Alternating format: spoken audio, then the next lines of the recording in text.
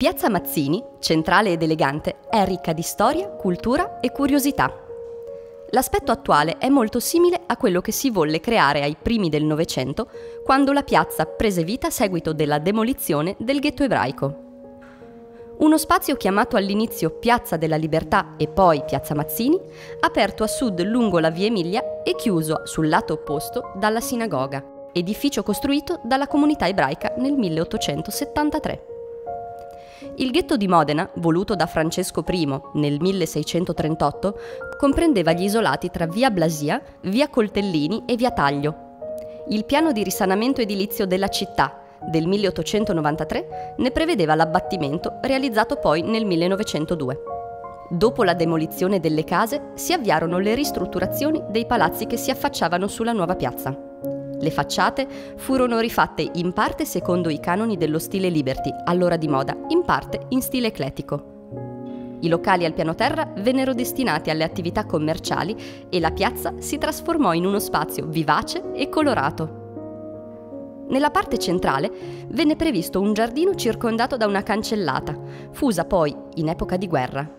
Il verde del giardino ebbe nel corso degli anni diverse sistemazioni. Nei mesi estivi lo spazio adiacente alla via Emilia era occupato dai tavolini dei bar. La piazza, luogo di incontro e di manifestazioni sociali e culturali, fu ritenuta luogo ideale per la costruzione di un albergo diurno, per rispondere come in molte città italiane ed europee alle esigenze dei residenti, pendolari e viaggiatori, con funzioni igieniche e sociali. La costruzione, realizzata nel 1933, è completamente sotterranea e occupa tutta la superficie antistante il giardino. Vi si accede tramite una scala. Dalla scala si scende alla sala d'ingresso, dove si trova il banco della cassiera e il deposito bagagli.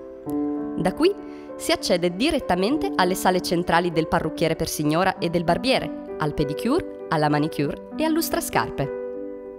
Due corridoi laterali portano alle sale da bagno e da toletta di prima e seconda classe e ai gabinetti semplici.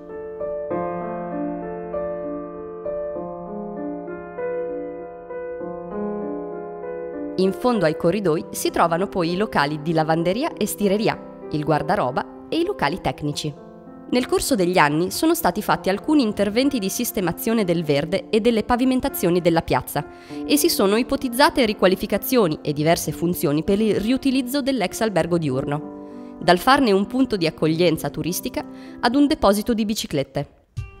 Oggi Modena intende riappropriarsi di un elemento vitale della propria storia avviando un progetto di valorizzazione complessiva di Piazza Mazzini, di cui sono già state fatte le prime valutazioni sulla fattibilità tecnica e i vincoli esistenti. Per farlo è importante il contributo di tutti. Il Comune apre un dialogo per raccogliere suggerimenti, proposte e opinioni che orientino la discussione su questo spazio importante non solo per il centro storico, ma per tutta la città. È possibile esprimere la propria opinione o inviare idee, immagini, foto o ricordi personali attraverso il nuovo canale digitale hashtag che ne pensi.